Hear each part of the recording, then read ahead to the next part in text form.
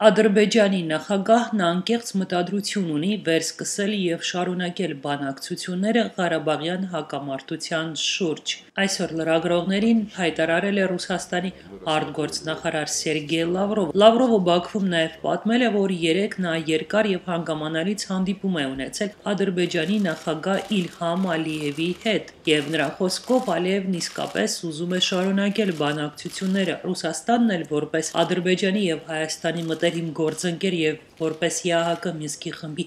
համանախագահ ամեն ինչ անելու է փոխզիջման հասնելու պայմաններ ստեղծելու համար։ Понятно, что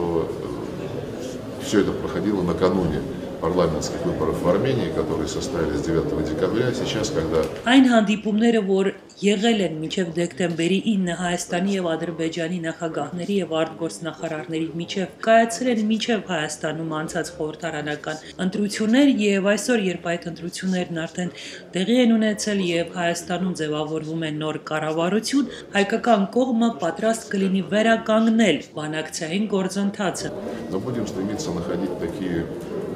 тактически, если хотите. Մենք իհարկե չենք ձգտելու խնդրի կարգավորման սկզբունքային նոր որոշումներ գտնել։ Կարգավորման հիմքը հասկանալի է, բայց կփորձենք գտնել նոր կրեատիվ գաղափարներ, որոնք թույլ կտան ձևակերպել կոնսենսուսը։ Այսօր մամուլի ասուլիսին Բաքվում հայտարարել է Սերգեյ Լավրովը։ Նախարարը Բաքվում այսօր մասնակցել է Սևծովյան տնտեսական համագործակցության արտգործնախարարների նիստին, բացի այդ այս հավաքի շրջանակներում նա երեք երեկոյան հանդիպել էր Ադրբեջանի նախագահի հետ, ում փոխանցել է Ռուսաստանի նախագահ Վլադիմիր Պուտինի ջերմ ողջունները, Ալիևն ի դեպ հանդիպել է նաև Թուրքիայի արտգործնախարար Մևլութ Չավուշօղլու հետ եւ Թուրքիայի արտաքին գերատեսչության ղեկավարը հերթական անգամ հայտարարել է, որ Թուրքիան շարունակելու ամբողջությամբ աջակցել Ադրբեջանին Ղարաբաղի հարցում։ Մինչ այդ հիշեցնեմ, պաշտոնական Անկարան հայտարարել էր, թե Հայաստանի հետ հարաբերությունները կարող է կարգավորել միայն Ղարաբաղյան խնդիրը կարգավորելուց հետո։ Վերադառնամ սակայն Լավրովի այցին Բաքու նա այսօր հանդիպել է նաև Թուրքիա արտգործնախարարի հետ եւ Չավուշօղլու հետ։